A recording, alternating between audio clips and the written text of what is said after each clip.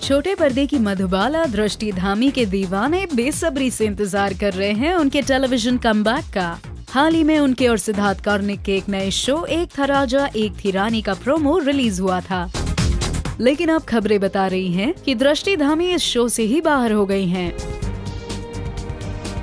हुआ यूँ कि शादी के बाद जब दृष्टि सेट्स पर लौटी, तब उन्होंने स्क्रिप्ट में कई सारे चेंजेस डिमांड किए और फिर उनको शो क्विट करने के लिए कहा गया। और चूँकि दृष्टि अब इस शो का हिस्सा नहीं होंगी, एक नया प्रोमो शूट होगा सिद्धांत के साथ। आपको पुराना प्रोमो कैसा लगा था?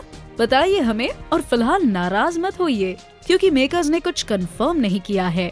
और वैसे भी दृष्टि अपने फैंस को कभी नाराज़ नहीं करेंगी, है ना? तो चली मसाला पे बने रहिए इस शो से रिलेटेड अपडेट्स के लिए।